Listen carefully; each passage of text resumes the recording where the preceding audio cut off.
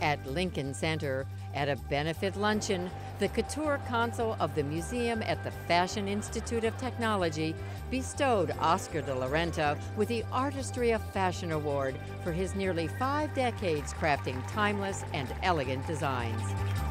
You know, it's so great to be uh, to be celebrated for something that one loves to do. You know, I have been doing this almost for 50 years now, and uh, and I'm, I am as excited at doing what I'm doing as I was on the very first day. 50 years later, De La Renta continues to have lasting impact. His clothes transcends trends, transcends time, and that it really does have a life for as long as you own them. Everybody wants his clothes because of the unique kind of dramatic femininity, the beauty and the, the sense of color and romanticism of his fashions. He has a very simple goal, and that is a woman should always look beautiful. It's been his mantra, his aesthetic, his entire career, and he's done exactly that. I think it's why he inspires that such an unbelievable level of devotion. Well, he deserves it. And uh, he's been a mainstay of New York fashion and actually world fashion for a very long time, and he deserves everything. New York City's Mayor Michael Bloomberg was on hand to present the prolific designer with his award. In an industry where tastes come and go in a New York minute, Oscar's designs are one thing that is always in vogue. If you want to think about it, he is the little black dress of high fashion. He just never goes out of style.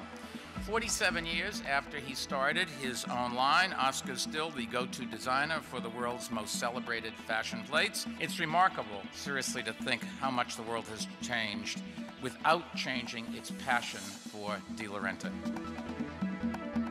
I am honored to present the 2012 Couture Council Award for Artistry of Fashion to Oscar de la Renta. I'm very lucky because, you know, I love what I do. You know, fashion is not really about what I did, but what I'm doing now. You know, I have been at it now for 50 years. I'm still learning. And what is exciting to me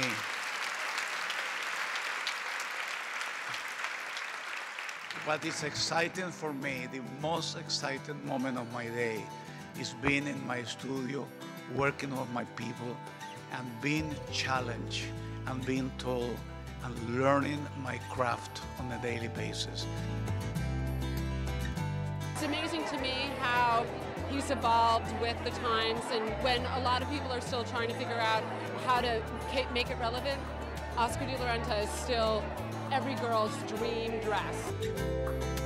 Oscar is someone who has just gotten better and better over the years and decades. He's now at a period after working in the fashion world for 50 years. He's someone that all of the young designers want to be like. They want to be the next Oscar de la Renta. I think that you have to have three things. The, the, um, the passion for doing it, uh, the panic to do it, and the energy to do it.